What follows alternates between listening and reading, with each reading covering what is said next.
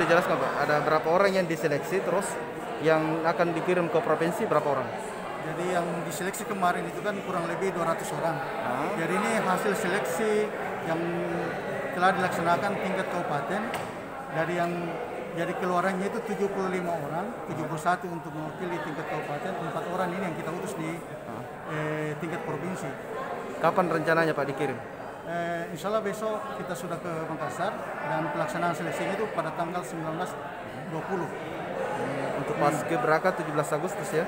Paskibraka 17 Agustus tingkat provinsi dengan tingkat nasional. Jadi kalau dia lolos di provinsi Ya, dan lolos seleksi lagi di nasional yang dia lolos ya bisa sampai ke tingkat nasional. tingkat nasional. Yang jelas persiapan kita lakukan artinya tahap yang kita sudah lakukan adalah kita sudah melakukan seleksi sesuai dengan surat edaran dari eh, Kemenpora pada tanggal 31 Maret 2001 sehingga di, diserangkan untuk tingkat kabupaten kota dan provinsi melaksanakan seleksi tapi dengan protokol kesehatan dengan formasi penuh. Nah, dan kemarin kita sudah laksanakan pada tanggal 6 April kemarin kita sudah lakukan seleksi di tingkat kabupaten dalam rangka untuk pengibaran 17 Agustus 2021 untuk tingkat kabupaten dan perwakilan untuk ke provinsi. Bangga dengan keempat anak ini.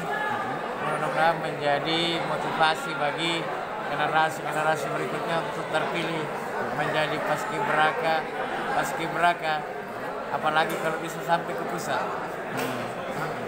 Ini kan modalnya besar ini.